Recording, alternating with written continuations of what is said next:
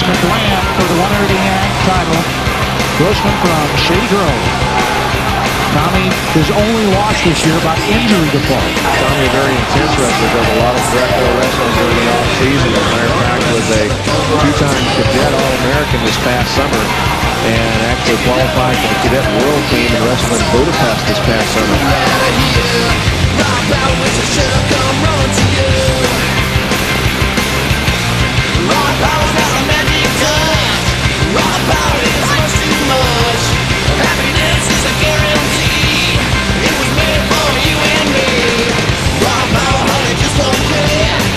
With Tommy Grossman, state champion, 189 pounds. This is number two for you. How does it, it looks like McLam gave you a couple problems in the second period. Uh, he might have, but I stuck with him. I was able to beat him. I just give God all the credit. He's helped me all year, and praise the Lord.